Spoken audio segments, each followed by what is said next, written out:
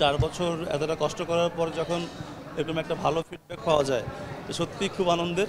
এটা অনুভব করার থেকে পরের কাজে নিয়ে ব্যস্ত হয়ে গেছি। কারণ এখন যে সিনেমার জোয়ারটা এসেছে, তাতে বহুদিন ধরে জমে থাকা ছবিগুলো আবার রিলিজ হচ্ছে।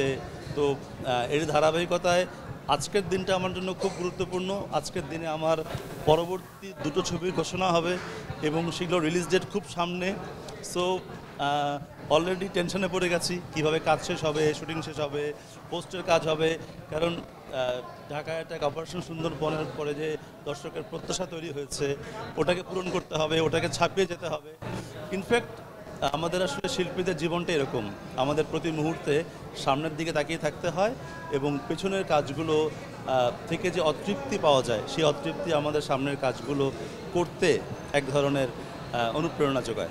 আজকে তো আমার জন্য একটা খুবই গুরুত্বপূর্ণ দিন, কারণ আজকে আমার office motion pebble studios limited যারা অন্তর্জাল ছবিটা করছে, তারা আমার পরের ছবিটার সাথে যুক্ত হয়েছে, যেটা চলচ্চিত্র এফডিসি প্রডিউস করছে। অনুদানের ছবি আকাশ যোদ্ধা। তো সামনের বছর অন্তর্জাল এবং আকাশ যোদ্ধা আসবে, সবগুলোকে নিয়েই।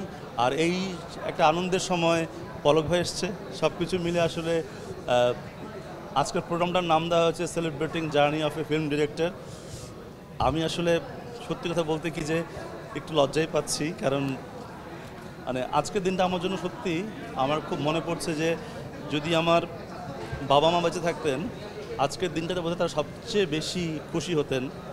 আমরা আসলে তাদেরকে আনন্দের সময় পাই না এবং যারা বাবা মাকে পান আনন্দের সময় আমি বলি তারা সবচেয়ে ভাগ্যবান।